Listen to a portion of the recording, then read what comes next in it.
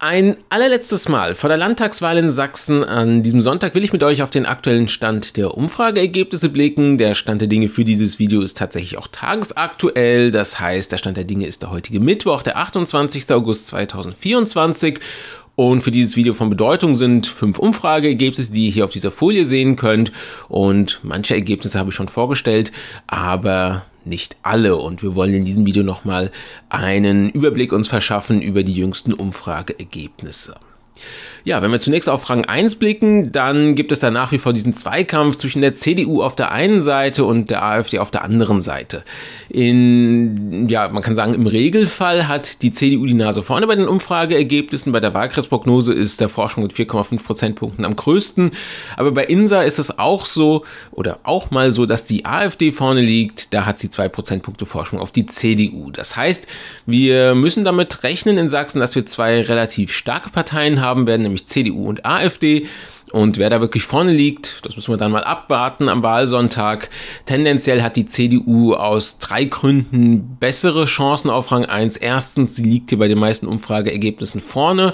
Zweitens, sie stellt aktuell den amtierenden Ministerpräsidenten mit Michael Kretschmer und kann sicherlich vom Amtsbonus etwas profitieren. Und ja, drittens kann es durchaus schon sein, dass Wählerinnen und Wähler, die eigentlich nicht die CDU wählen möchten, die CDU wählen, weil sie verhindern möchten, dass die AfD stärkste Kraft in Sachsen wird. Aber ob das dann ausreicht, um wirklich vor der AfD zu landen, müssen wir mal abwarten und ja, uns da mal anschauen am Wahlabend.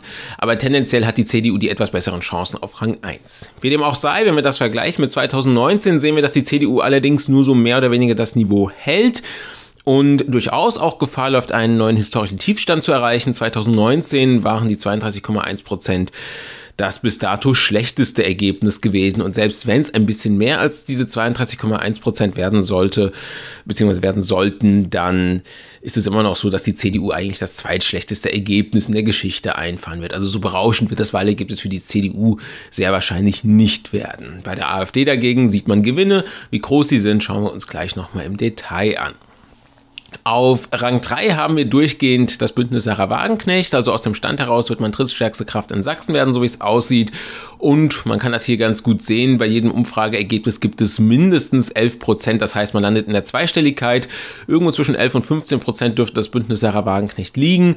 Auffällig ist da das Ergebnis von der Forschungsgruppe Wahlen. Das ist in Anführungszeichen besonders schlecht im Vergleich zu den anderen. Bei den meisten Umfrageergebnissen sind es doch so zwischen 13 und 15 Prozent. Also Rang 3 dürfte dem Bündnis Sarah Wagenknecht nicht zu nehmen sein. Und dann wird es dahinter ja eine ziemlich enge Kiste. Wir haben die SPD, die Grünen und die Linken, die duellieren sich da um Rang 4, 5 und 6, wobei man sagen muss, die Linke ist in der Regel ja etwas hinter SPD und Grünen und deswegen gibt es eher einen Zweikampf um Rang 4 zwischen der SPD und den Grünen. Aber die Platzierung wird wahrscheinlich SPD und Grünen relativ egal sein. Ihnen geht es vielmehr darum, in den Landtag einzuziehen. Und ja, wenn wir uns die Ergebnisse anschauen, dann gibt es für jede dieser Parteien, Linke, SPD und Grünen, Umfrageergebnisse, die unter 5% liegen und damit wäre der Einzug in den Landtag potenziell gefährdet. Insgesamt muss man allerdings sagen, hat die SPD mit normalerweise 6 bis 7% doch passable Chancen, im Landtag vertreten zu bleiben. Ja, dieses Ergebnis von der Wahlkreisprognose ist quasi die negative Ausnahme. Ja, mit 6 bis 7 Prozent würde die SPD allerdings kein so berauschendes Ergebnis einfahren und nochmal schlechter abschneiden als 2019, was das bis dato schlechteste Ergebnis in Sachsen war. Die Grünen wiederum, die kommen auf ja, 5 bis 6 Prozent im Regelfall, werden also verlieren im Vergleich zu 2019 scheinen aber nach den Umfrageergebnissen im Landtag drinne zu bleiben. Allerdings muss man da ein bisschen vorsichtig sein. Ich kann mir auch vorstellen tatsächlich, dass die Grünen am Ende unter 5% liegen werden. Dann kommt es tatsächlich darauf an, ob die Grünen genügend Direktmandate holen, um trotzdem bei der Sitzverteilung eine größere Beachtung zu finden. Und die Linke, die muss tatsächlich auf Direktmandate spekulieren, denn mit 3 bis im maximalen Fall 4,5% liegt sie durchgängig unter 5% und scheint den Einzug in den Landtag, zumindest was die 5%-Hürde betrifft, so nicht zu schaffen. Ja, und die FDP, die scheint draußen zu bleiben aus dem Landtag. Sie wird also bei der achten Landtagswahl in Sachsen zum fünften Mal den Einzug nicht schaffen. Sie zählt hier bei allen Umfrageergebnissen zu den sonstigen. So, schauen wir auf die Gewinne und die Verluste im Vergleich zur letzten Landtagswahl. Da haben wir ein Plus stehen beim Bündnis Sarah Wagenknecht, plus 13,4 Prozentpunkte. Dann haben wir ein Plus bei der AfD dastehen, plus 2,9 Prozentpunkte und die CDU, die hält tatsächlich das Niveau plus 0,2 Prozentpunkte. Und bei den Verlierern haben wir die SPD minus 1,5 Prozentpunkte, die Grünen minus 3,1 Prozentpunkte, die sonstigen minus 5,4 Prozentpunkte und die Linke liegt bei minus 6,5 Prozentpunkten. Gehen wir jetzt mal weiter zur Sitzverteilungsprognose und zu den Koalitionsoptionen. Es gibt 120 Sitze regulär im Landtag ohne Überhang und Ausgleichsmandate. Und jetzt gehe ich noch mal kurz auf das ein, was ich am Wochenende Wochenende erläutert habe mit den ähm, ja, Direktmandaten bzw. mit der Grundmandatsklausel in Sachsen. Denn die könnte für die Linke und für die Grünen von Interesse sein. Es ist nämlich so, wenn eine Partei unter 5% landet, kann sie trotzdem in den Landtag durchaus einziehen. Also wenn eine Partei ein Direktmandat gewinnt, dann gehört ihr das auch, selbst wenn die Partei unter 5% liegt. Heißt für die Linke, die wahrscheinlich ein Direktmandat sicher holen wird, sie wird mit einem Abgeordneten auf jeden Fall vertreten sein. Egal, ob sie jetzt bei 2% liegt, 4% liegt oder bei 3% liegt. Es ist allerdings so, es gibt eine Grundmandatsklausel in Sachsen, die besagt, dass wenn eine Partei zwei Direktmandate holt, dass sie mit ihrem Zweitstimmenergebnis bei der Sitzverteilung beachtet wird. Das heißt, dann ist die 5%-Hürde außer Kraft gesetzt für diese Parteien. Und die Linke und auch die Grünen können das schaffen.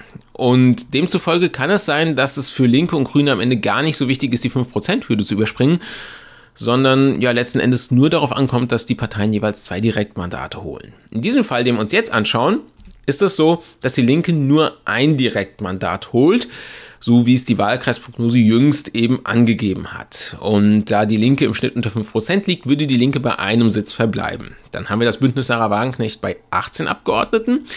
Die SPD kommt auf 8 Sitze, die Grünen auch auf 8. Dann haben wir die CDU bei 44 Sitzen und die AfD bei 41. Und wenn wir dann auf die Koalitionsoptionen blicken, dann sehen wir, dass die Kenia-Koalition, die aktuell regiert, auf 60 Sitze kommt und genau die Hälfte der Sitze hat, aber keine absolute Mehrheit mehr hat. Und es kann natürlich eine enge Kiste werden. Es kann, wenn die CDU noch etwas zulegt, zum Beispiel, dann doch reichen für die Kenia-Koalition, aber da sind viele Fragezeichen dahinter und ja, es kann sein, dass die Kenia-Koalition tatsächlich nicht über eine absolute Mehrheit verfügen wird. Und dann braucht man eine andere Regierungsoption, eine andere Koalitionsoption. Und da geht eigentlich nur das BSW mit der CDU. Das wäre eine neuartige Koalition, die müsste sich erstmal bilden und finden. Das wäre halt die Alternative, die über eine absolute Mehrheit verfügt und die zumindest mal denkbar ist. Nicht gesagt, dass es am Ende auch tatsächlich passieren wird, aber das wäre sozusagen die Möglichkeit, wenn man in so einer Pattsituation ist, dass alle anderen Koalitionsoptionen, die bisher eingegangen worden sind, nicht über eine absolute Mehrheit verfügen würden. So, jetzt schauen wir mal auf den Fall, dass die Linke zwei Direktmandate holen würde. Dann würden ihr die 3,9% reichen, um auf fünf Sitze zu kommen. Dann reicht es für die Kenia-Koalition tatsächlich eher nicht. Da muss man dann davon ausgehen, dass es nicht reichen wird zur absoluten Mehrheit. Und selbst für BSW und CDU würde es in diesem Fall dann nicht zur absoluten Mehrheit reichen.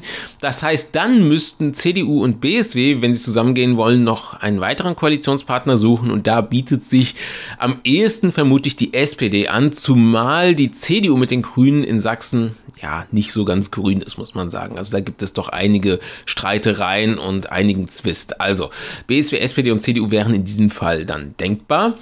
Und sollte die Linke die 5%-Marke doch knacken, dann würde sie auf sechs Sitze kommen. Dann geht CDU und BSW sehr wahrscheinlich nicht. Dann muss man tatsächlich über dieses Dreierbündnis hier BSW, SPD und CDU nachdenken. Das heißt, wenn man sich das alles mal so anschaut, dann sieht es so aus, dass es in Sachsen zumindest mit den herkömmlichen Koalitionsoptionen auf eine Pattsituation hinauslaufen wird und demzufolge neue Koalitionsoptionen eingegangen werden müssen. Und da vor allen Dingen muss dann eben eine Koalition mit dem BSW eingegangen werden.